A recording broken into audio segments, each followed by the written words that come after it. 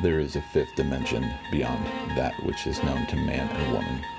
It is a dimension at least six feet apart and seems to last until infinity.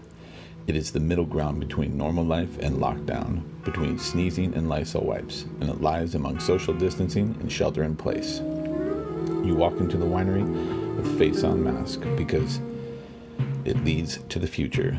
Not a future that will be, but a future that might be. This is not a new world.